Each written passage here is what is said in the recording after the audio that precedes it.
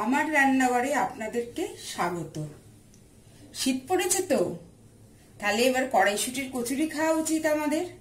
তা আজকে আমি দেখাবো কীভাবে কড়াইশুটি অর্থাৎ মটরশুটির কচুরি করতে হয়।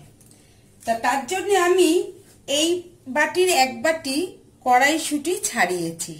সেইটাকে আমি পেস্ট করে দিয়েছি। পেস্টটা হচ্ছে এই, এইটা আমার। এইবারে আমি পেস্টটাকে একটু কষে নেব প্রথমেতে।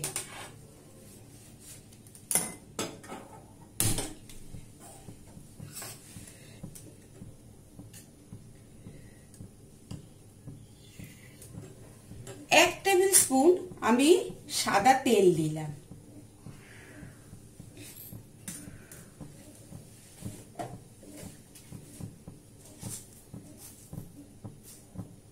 তাতে হাফ টিস্পুন আমি কালো জিরা দিলাম।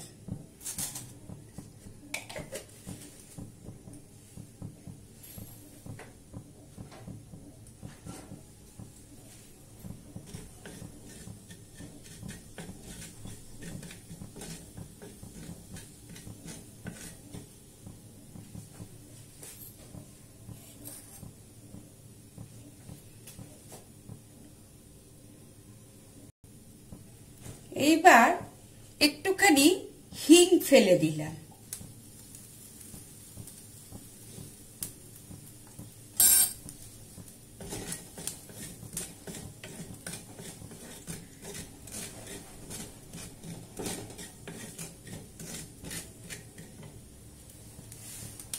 এবারে যে মটরশুটিটা বেটেছিলাম সেইটাকে দিয়ে দিলাম।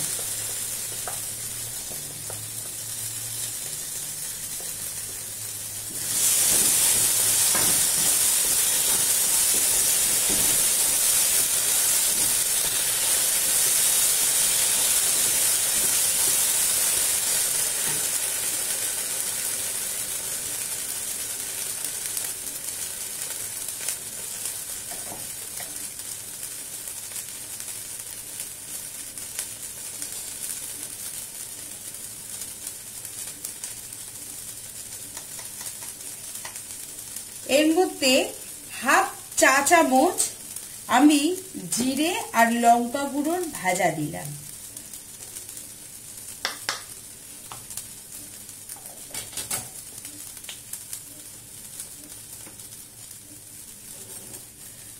আর হাফ চা চামচের কম আমি গরম মশলা দিলাম।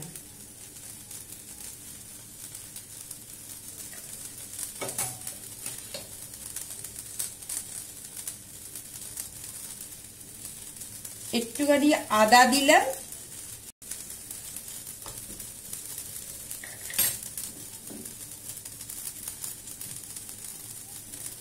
স্বাদ অনুযায়ী লবণ দিলাম।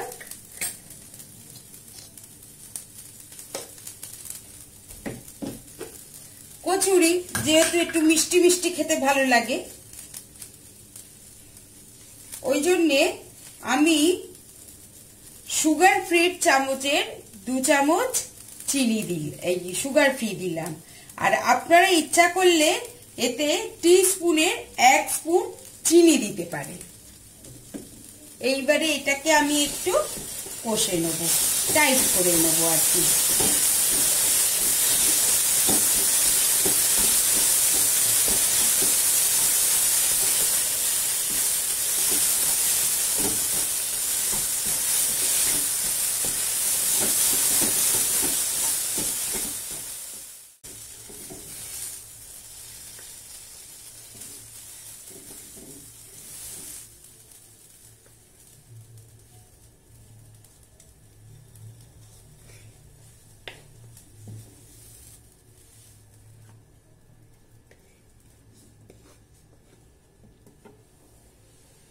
হয়ে গেল আমার কড়াইশুটির পুর।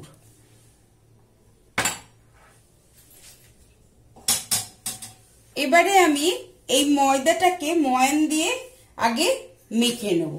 তা তারই জন্য আমি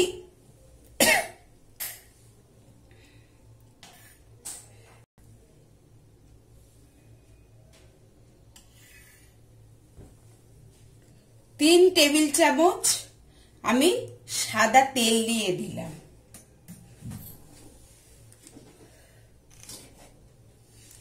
আর ময়দাতে একটু লবণ দিয়ে দিলাম। এইবারে এটাকে আমি মাখি। আচ্ছা ময়দা মাখা আমার হয়ে গেছে। এবারেতে আমি কি করব? লেচি কেটে পুরগুলো ময়দাতে ভরবো।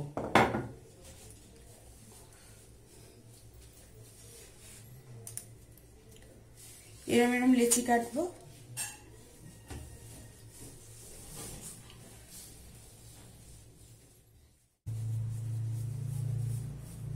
লেচিগুলোকে এরকম গোল গোল করে দিয়ে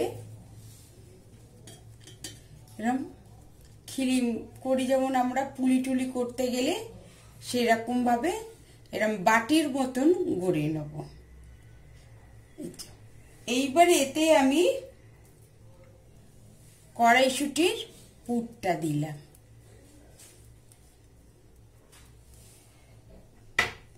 দিয়ে এবার এটাকে আমি মুড়ে নেব।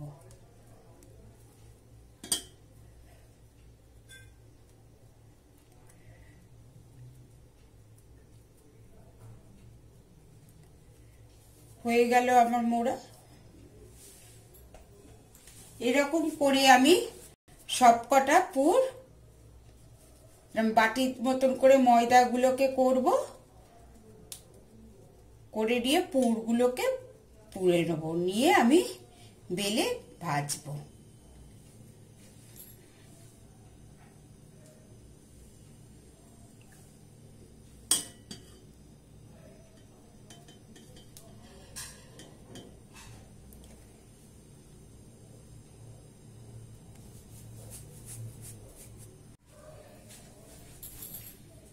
এবারে আমি কড়াতে সাদা তেল দেব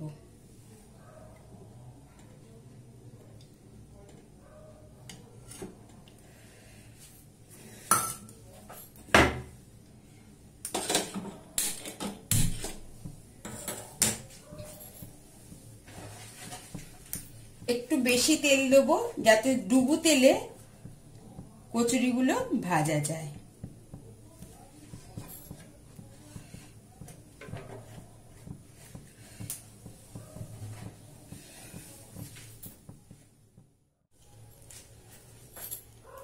তেল আমার হয়ে গেছে। এবারেতে আমি কচুরিগুলো ভাজবো।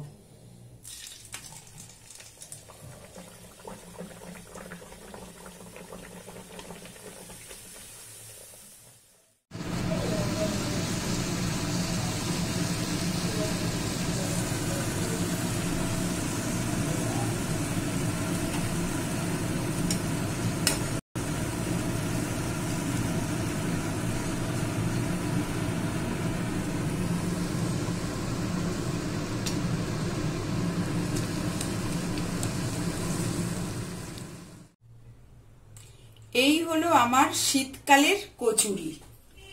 আর কচুরির সাথে আলুর দম ছাড়া যেন মানায় না।